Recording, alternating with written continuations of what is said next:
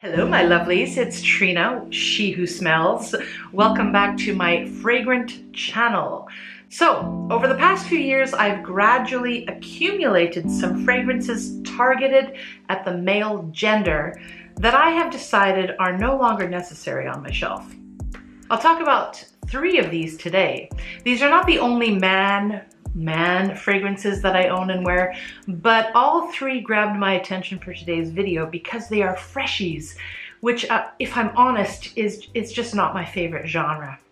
And I have a friend in mind who will appreciate receiving one, if not two, or maybe all of them. First is Versace Man Eau Fraiche. This is a woody aquatic launched in 2007 via perfumer Olivier Cresp. And uh, I'm a fan of Mr. Cresp, so I was looking forward to smelling this. Uh, the eau fraîche terminology is a sign that a, it's going to be lighter than probably a cologne in its concentration. And B, it's going to last, well, not very long.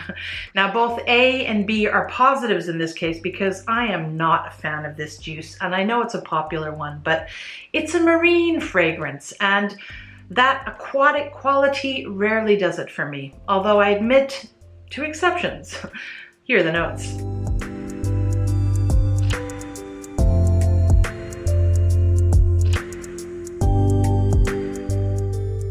And those notes are interesting, right? Starfruit, tarragon, sage, saffron, and sycamore? Come on, I should at least appreciate it, right? And it's, again, it's Mr. Cresp's creation to boot. I'm finally used to eating seaweed after living in Japan this long, but I still don't appreciate the ocean smell. And the bottle, to me, is uh, certainly not a selling point. It's on brand though. It's tacky, it's Versace. I can see a private pool on Venice Beach, tight Euro bathing briefs in gold and silver print on men with orange skin and chest hair, wiggling their bountiful bums as they recline on blue glass and porcelain pool flooring. Mmm. if I can get past that, and I, I, don't mean the image, I mean the seaweediness, um, then I get something bright and zingy, but also a little bit obnoxious and cloying. But it's light. But Ultimately for me, it's vomit-inducing glue sticks dipped in lemon detergent and slimy seaweed. But hey, on a hot summer day, this might smell good to me or on someone else. So to an aquatic loving someone else, this goes. Bye-bye. Next in my lineup is 1881 by Nino uh, an aromatic fougere from Martin Gras, launched back in 1990. The notes are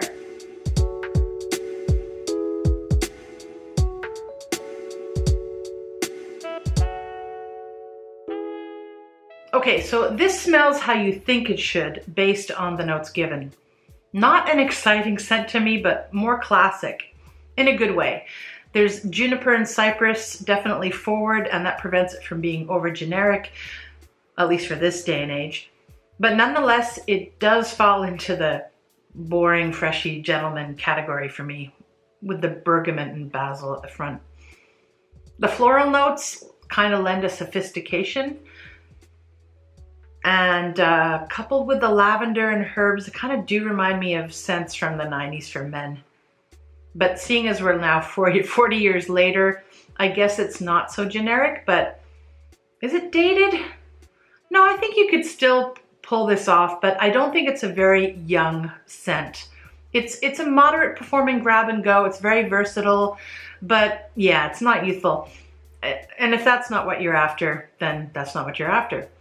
But a redeeming quality of this uh, particular scent is the cost. I mean, this a 50 ml bottle was less than $30. So if, if you're not too obsessed with fragrance but want to smell decent and don't want to break the bank, well, you know, this is probably a good option for you. I, however, plan to pass this on to the individual who raved about it to me. I'm sure he'll use it more than I will. Now we have Al Haramain's L'Aventure, which was released in 2016. Not sure who the perfumer is, but if I find out, I'll post it here or below or somewhere. Um, it's a fresh pineapple apple and black currant laced with a crap load of bergamot and lemon at the top. And it's infused with smoke and herby, almost sweaty metallic spices. And then it settles down into a woodsy birch, birch and uh, birch, birch and amber base. And yes, yeah, this is a Creed Aventus clone for sure, especially on the dry down. In fact, unless money is not a big deal for you, to be honest, I wouldn't bother with Aventus, but again, I'm not a freshie, so, you know, I'm not the right person to ask for this, but I do think this will do. It's not a perfect clone. It's more chemical with far less refined ingredients for sure, but the vibe, it's pretty close. and it's a versatile scent. The performance is okay, but it does fall fast on me uh, to a, a skin scent in about a couple of hours. I think it's better on clothes than skin too.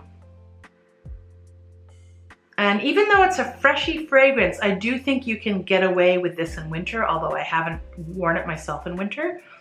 And uh, I, I, think it's difficult, unless you're really sensitive to cologne, uh, to be offended by this. Although I imagine one could be. in 2019, an intense version of this came out um, but uh, I haven't sniffed that, but I've heard that it's basically just a more intense version, no changes. Here are the notes.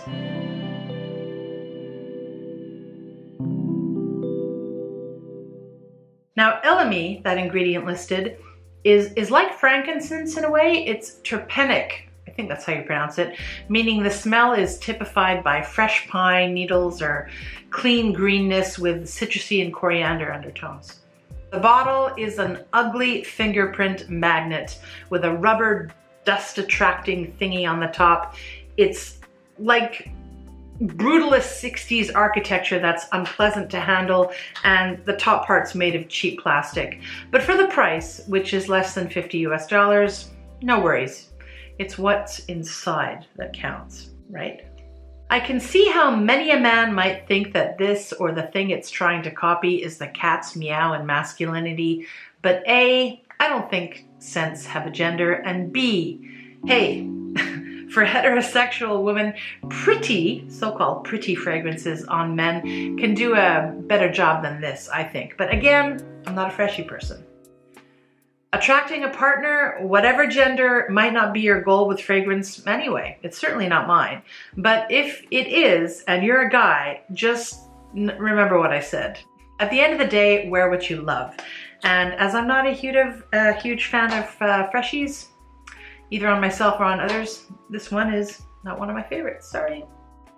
Now the other thing is that freshy frags, even the quality stuff, can easily sway into kitchen cleaner territory for some people, I feel. Not that that is necessarily a bad thing to be clear, but in any case, I think I'm gonna decant this one into a more palatable container uh, that also fits more comfortably in my hand and then share it with my pineapple loving friends. It is objectively a decent smell, just, it's not in any way sexy to me though. Maybe on the right person. Oh, and uh, for your information, it came in this impressive hard case. Let me find it. Okay, uh, here it is. So it's not that impressive really, but it's plastic and it's hard. And if you can figure out any great ways of upcycling this, let me know because, you know, most perfumes just come in paper boxes and I thought this was pretty cool. Ok, c'est tout pour aujourd'hui, mes belles amies. Rock tes belles oreilles. Ears. Why did I say that? Where does that come from?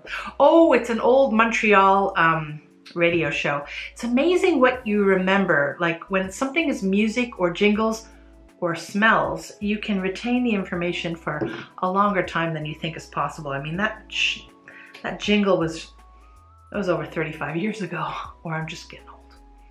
Okay, I'm rambling. Hope you enjoyed the video, everyone. I'll be back with some more perfume at a later time. Talk to you later. Bye.